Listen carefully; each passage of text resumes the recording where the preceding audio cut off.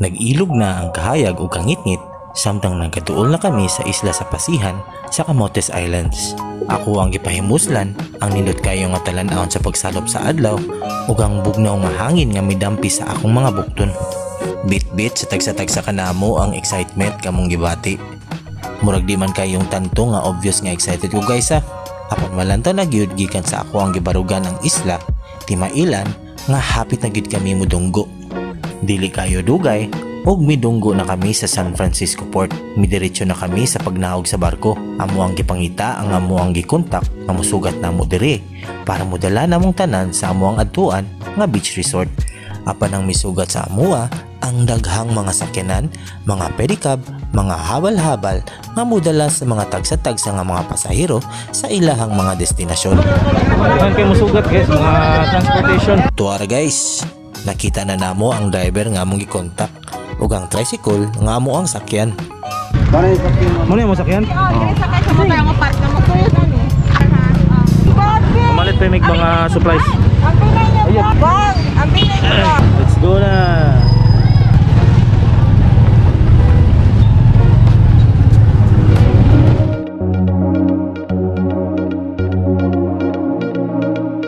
Sa dili pa mi mo diretso sa among pagatuan nga beach resort, amo ang gisultihan ng driver sa paghapit sa pinakaduol nga merkado o pwede sa mga tindahan nga amo ang mapalitan og mga gamitunon sa pagluto.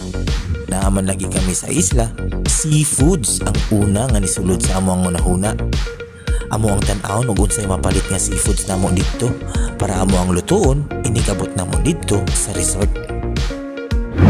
Hello guys, nami diri sa kampo. Pag may isda og mga lamas. Ang kampo mao ang pinakaduol nga mapalitan na mo og isda ug mga kinahanglan sa pagluto nga amo ang dalon sa resort. Apan kagabi naman lagi nga naabot mi sa isa sa Camotes, wala na kami makahapit pa sa ilahang merkado. Limitado na sad ang mga isda nga ato ang mapili tungod kay nanirado na pod ang ubang mga tindahan diri. Mihapit pod ko og tindahan guys para magpalit og uban pang mga kinahanglang gamit sa pagluto. Nay, Nor, mabit miga. Grabe mo. Buhaw kay guys. Ulin, ulin.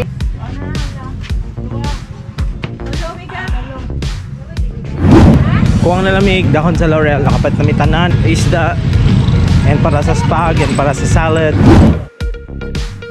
Yes, napalit na nato ta ng mga kinahanglan guys. O karon, moderitsyo na ta sa beach. Ngit-ngit na gyud guys. Di na gyud ta makakita sa ato ang palibot. Tungod kay ang Camotes dili usa ka urbanisado nga isla, dili kayud ta mag-expect nga dunay mga lampposts o mga streetlights nga mudanag sa ato ang mga gihanan diri. Abot na mi after 48 years.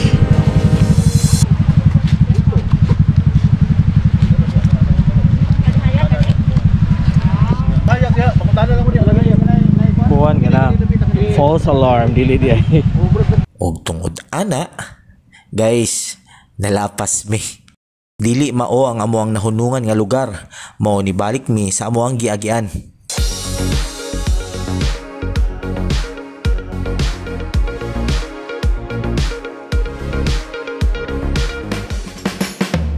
Hi guys, abot na mi guys. Unsa man sigurado na gyud mo nga mao na gyud ni? Aw, murag mao naman siguro ni guys. Abot naman siguro mi. At last, bahal ka sa guys. Abot na gyud mi. Natural na guys. Ana gyud na basta mag-travel. Usahay masaag ka. Usahay pod. Mahitabo ang mga things nga wala nimo gi-expect. Guys, mo ni among stayhan guys. Guys, we will be spending our night here at Susan's Guest House, located in Esperanza, Camotes. So if you plan to book your stay at Susan's, you may check their page. Guys, misugat sa amua ang tinaw kay nga tubig sa dagat nga maklaro gyapon nimo taliwala sa kangit-ngit sa palibot. Guys, atong i-check ang ato ang room. Mano yung room? May CR. And then, may aircon. May two beds. And we can have extra foam here. And there's the CR there. And the kitchen is actually beside this. There, that's a. Magluto sa ta. Hello guys, mag-prepare ta og pasta. Pasta puttanesca. Hindi kasi ordinaryo nga pasta guys.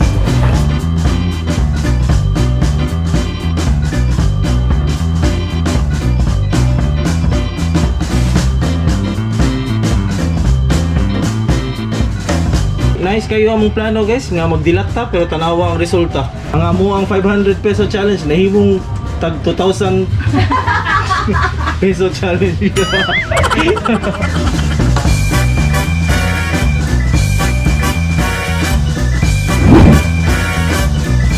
Salimot niyo si pangalan. Basta sinugba.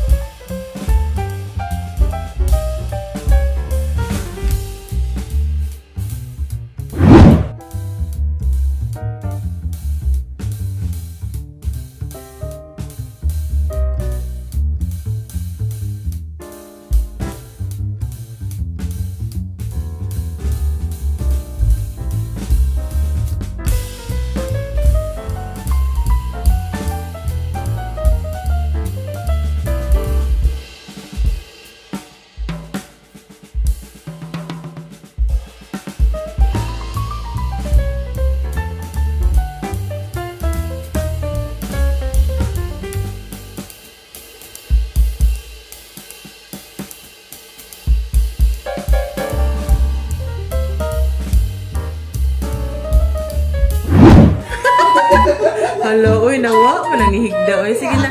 Good night. Sige na, sige na. Mayabol. Sige na, day. Good night na, day. Sleep na, dira.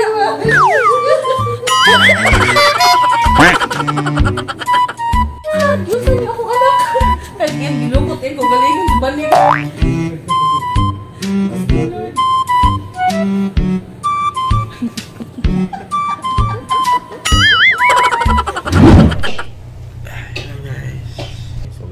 um, sunrise. Tukar guys. Ciao.